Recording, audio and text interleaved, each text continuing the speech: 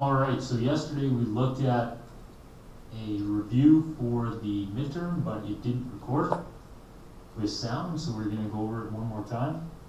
So the midterm is next week, and it's the end of the halfway point of the course. The first half of the course is chapters one through five, and the second half is chapters six, seven, eight, and nine. And the midterm is hundred percent multiple choice. Just multiple choice, forty questions, and I'd like you to be able to understand what you're going to end up seeing. So we're gonna cover this now, then we'll have our mass break, and then when we get back, we'll get into chapter five. So, in order to do well on the midterm, we're gonna go back to chapter one, and in chapter one, you may recall that we looked at the Canadian political system. And for example, we have this chart that looks at the seating arrangement in the House of Commons. And it's not that I want you to memorize who sits where, because it's labeled. I want you to apply the knowledge. So for example, the first question says referencing details within the seating chart. So then you go back, you look at the chart, says the individual who is in the best position to serve as a neutral moderator. So who's in a neutral position? You have to look at the nuances within the source, the idea that we have some on one side, some on the other, who's neutral down the middle, and think about the roles that people play. And then the answer will be there for you. The seating arrangement shown above is intended to encourage something. So why do we have the opposing party sit straight across? So the opposition shadow minister will sit right across from the minister whose responsibility it is that they're shadowing. So there's some application of vocabulary. Application of vocabulary too when we look at the branches of government and the different descriptors of the Canadian system versus the American system. So in the US, we talk about checks and balances, and in Canada, we talk about things like party solidarity, party discipline, cabinet solidarity, and responsible government. So you'll need to know the working definitions of vocabulary to do well. So this weekend, my suggestion for you would be to go back over the four chapters that we finished, and that'll help you prep for the majority of the questions you will see next week. We also spent some time looking at election results, and with regards to election results, we focused in on the electoral system and how first past the post may distort the will of the people. So in this chart, you're seeing a distortion of the will of the people because the Liberals had less percentage of the popular vote than the Conservatives, yet we have a Liberal government today in Canada with 157 seats. So when we talked about the electoral system first past the post, as opposed to proportional representation, where you'd have the same number of seats percentage-wise as your popular vote. But we also did some things like figuring out what's the difference between a minority and a majority government based upon how many seats out of the possible 100% that you have. So anything over 50% would be a majority government. We discussed the advantages and disadvantages of majority and minority governments as well. One thing that we also talked about with regards to the electoral system is how some parties may be disadvantaged. So looking at the Green Party there, for example, they had three seats, but they had 6.5% of the vote. If there are 338 total seats in the House of Commons, 6.5% of 338 is a lot more than three. So even 6.5% of 300 would be almost 20. So uh, they are being underrepresented in terms of the will of the people is not being expressed. So we'll have some questions about that. We'll also have some questions about the branches of government, the executive, legislative, judicial branches. So it'll be important to know what branch does what function. And for example, as you can see number seven, where's the prime minister at? Which branches does the prime minister belong in? Speaking of the prime minister, there is our prime minister, right honorable Justin Trudeau. And we also talked about in chapter one the idea of the media being a watchdog of democracy. We talked about lobby groups. We talked about other functions that media does, including distracting us and promoting agendas. And we've done a lot of work this year with breaking down cartoons to find ideological perspectives.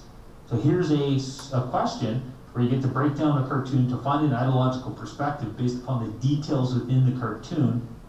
And then you can see what is the cartoon suggesting about the media and their function. Here's a graph about media, and we want you to look at a trend. The trend of people using Facebook and YouTube and Twitter as their primary pathway to gather news. What, what effect might that have on our political lives? So that's chapter one. Next up, we did chapter two, and you can see that chapter one had 10 questions, chapter two had five. Some chapters are bigger chapters than others. The chapter two with these five questions, uh, we focused really on the YCJA, the Young Offenders Act that preceded it, and we did some cartoon analysis about, uh, you know, to what extent is the YCJA and the Young Offenders Act historically, to what extent did they, did they provide a deterrence? What extent did they serve a function of bringing justice into society. And therefore, here you're going to have to unpack a cartoon to find a perspective.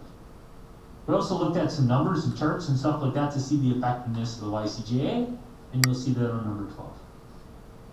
Now, the concept we looked at in chapter 2 was the idea that justice is blind. And number 13 is just asking you, you know, why do we portray justice as being blind?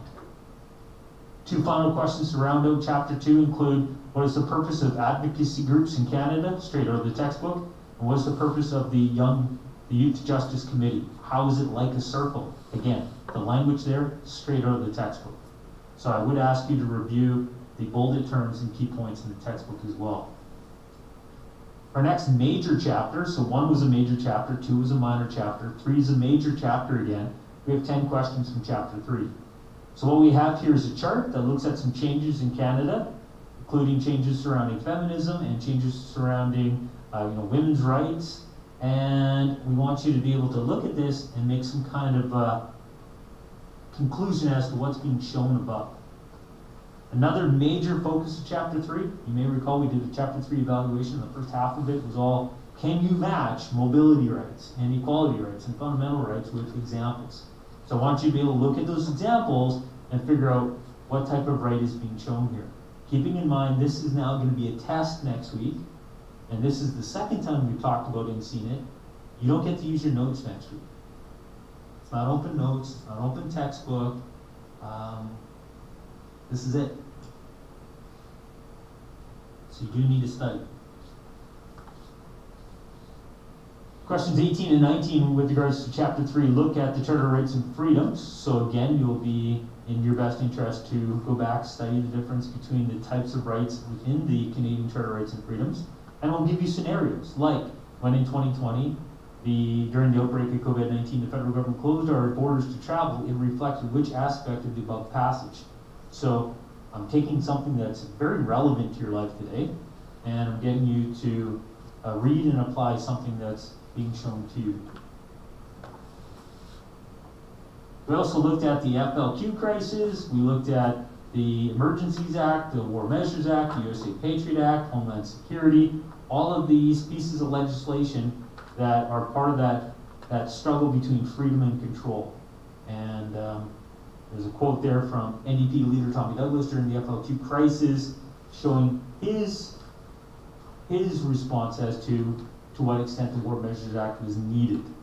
And I want you to be able to use that quote to apply some of the language and scenarios that we talked about in class. Then finally, there's some more matching, fundamental equality, legal and democratic rights.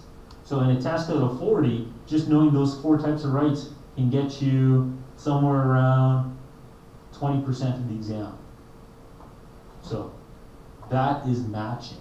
That, that, it can't get any easier. There's no way to make that easier.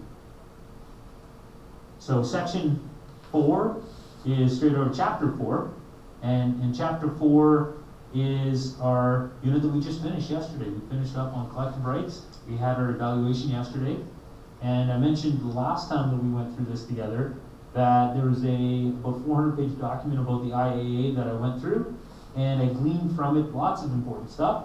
But among the important stuff that I gleaned from it were you know, the reasons behind the creation of the IAA and the reasons why the IAA was looking to get support from Albertans. And uh, so I have a chart there for you. And then from that chart, I think you should be able to apply it back and say, what kind of rights are we looking at here? We also talked a lot about lobbying in chapter one and in chapter three and four. So I want you to look at these rights and say, which one of these has them lobbying? Which one has them putting pressure on the government and lobbying change? And uh, in the textbook and in our online digital textbook, we talked about other indigenous groups, other Aboriginal groups, and we talked about the Métis National Council, the Assembly of First Nations, and the Native Women's Association. But there is no group called the Aboriginal Syndicate of, of Alberta.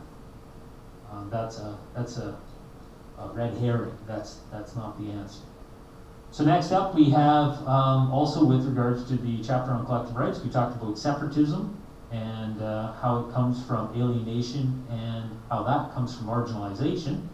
And we have that cartoon that we spent uh, at least 30 minutes unpacking. So I thought it would be purposeful to put that on there with the language that we talked about when we unpacked the cartoon. Those are those crises again that we've talked about, including the National Energy Program that we talked about as well when we looked at chapter four. And the online digital textbook and the textbook itself talks about some of the Western responses, including the creation of political parties like the Reform Party. In class, we looked at uh, our treaties and what the treaties, what the legacies of treaties are for Canadians. So things like healthcare and education, hunting and fishing rights coming from treaties like 6, 7, and 8 here in Wetaskiwin.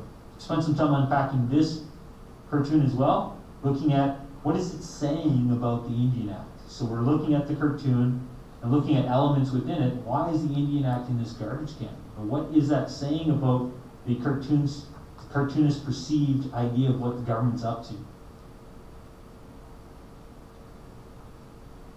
Williams' social videos are a nice way to review as well. And in the Williams' social video on chapter four, she talked about how our relationship between Europeans and Canada's Aboriginal peoples went from cooperation to competition to coercion. So this question is an example of a simple uh, recall question where it's testing whether or not you have been uh, you know, listening to those key big rocks shown to you in class. And then we have immigration, which we'll be looking at today and uh, Monday and Tuesday next week. And when we look at immigration, we're going to be looking at how it impacts Canada. Anytime that you're looking at a, a numbers study like immigration, it's natural to have some questions that have numbers attached to it. We're going to have some, some graphs to unpack. And we're going to be asking you to apply some of the language that we'll be looking at here, like xenophobia and racism, and this policy of, of white Canada policy um, that many people have been critical of, and how it's different than, say, multiculturalism today. So that's the midterm. Having shown you the midterm, having you being able to access the midterm on YouTube, should be in a position to do well next week. We've had a evaluation on each of these chapters. We will have time to study chapter five, but it's a minor chapter before we get to the midterm. We're not bombarding you with exams. I'm not bombarding you with homework every night. But you should see the midterm as an opportunity now, like many of you did yesterday, to show that you're, you're understanding the course. Number of people yesterday were 80, 90, and above. So we had amazing results yesterday. And I'm going to guess we're going to have amazing results on this unit test. So how do we get amazing results? The next step? Obviously our next step is to go have our mask break. But you know, this weekend I would suggest go into our digital textbook, go over the lessons again. Go over this lesson. Look at those questions that I just highlighted for you. See if you can break down the building blocks of them. See if you understand the language. If you have questions, ask them next week. On the test, I'm not answering the questions. A test is a test. It's a you, not an us. It's us now, but it's a you then. So if you're looking at this test and you have problems, you need to identify and ask questions before the actual exam. All right, so uh, we will get into chapter five more after the, our mask break, but let's take a mask break, go outside, and I'll see you later.